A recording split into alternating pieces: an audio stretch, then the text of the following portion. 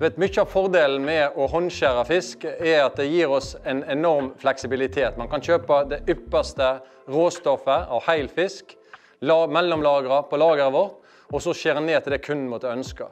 Det gir òg kunden større grad av fleksibilitet om man ønsker et kjøkken fullt i krukker med spesialister på å filetere, eller man vil ha en grossist som gjerne håndskjærer og leverer produktet ferdig. Da skal jeg ta for meg en A-trim-filet av en skrei og skjære den ned i de ulike stykningsdelene. Grunnen til at jeg gjør dette er at det er viktig for kjøkkenøkonomien deres. Og det er å utnytte hele fileten til de ulike rettene man har på menyen. Det blir mer og mer viktig, ser vi. Så først så starter jeg med å fjerne ørebeinet, også kalt ørnebeinet av noen. Eller her på Strilamålet i Bergen, uggestykket. Og Da har vi et spåmannsbein som sitter her. Det tar jeg alltid ut. Det skjærer jeg bare rett ned, direkte med uggestykket. Sånn, da har jeg en filet uten ørebein. Og da skal vi fjerne pinnbeinet til eh, torsken. Nesten på all fisk så sitter pinnbeina ned til midten av fileten. Pinnbeina, da går vi inn rett på oversida og skjærer ned til midten. Og så gjør jeg akkurat det samme motsatt på buksida. Går ned, skjærer ned pinnbeina. Og så lager jeg det som mange kaller for et V-kutt.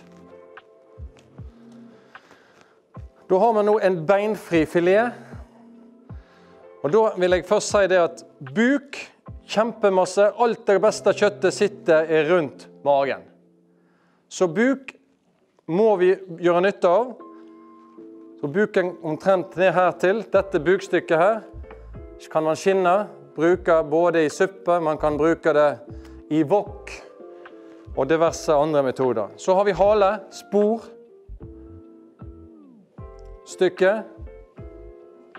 Jeg personlig liker gjerne å ta av 5 cm bakfra, det blir for tynt. Men dette er Jeg syns det er en fin lunsjporsjon i det stykket her. Og så har vi det som vi kaller for langloinen. Det er ryggstykket, ofte det mest verdifulle, og det er det mange etterspør på, på fisken. Så her har man et perfekt fiskestykke, og man har x antall porsjoner ut ifra størrelse på retten. Så har man her et veldig fint porsjonsstykke til av nedre del av bukstykket. Da får man utnytta hele fileten.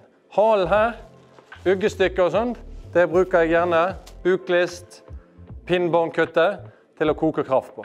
Det dere ser her nå, her har vi en hel A-trimmerfilet.